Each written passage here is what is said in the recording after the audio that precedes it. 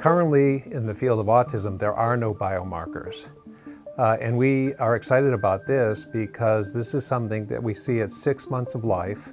It's readily observable in a clinical MRI scan that you can have at any hospital.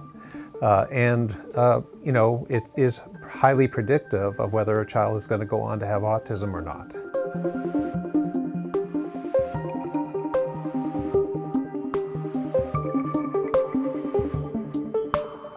In the old days, we used to think that, have, that cerebral spinal fluid was simply a shock absorber, that it surrounded the brain and it protected it in case you were to hit it against something so that the brain wouldn't be damaged.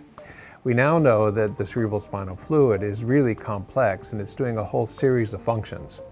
So for example, it looks like it carries uh, substances that are important for brain development early on from one part of the brain to the other.